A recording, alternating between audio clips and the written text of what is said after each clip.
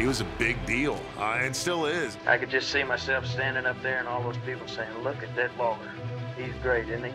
Jerry Lawler was a cornerstone of wrestling. He was one of the foundations that led us to where we're going now.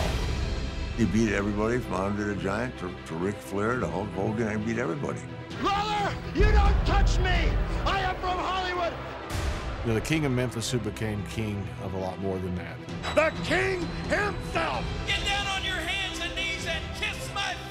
Feet! Jerry was one of the greatest villains in wrestling history. He was the voice of the Attitude Era. Oh, baby! We are live tonight on Raw! I look back on all the things that happened here and there, all the coincidences, all the things that shouldn't have happened that did happen, and to get me where I am today, I've never thought about quitting. It's just a, a way of life to me.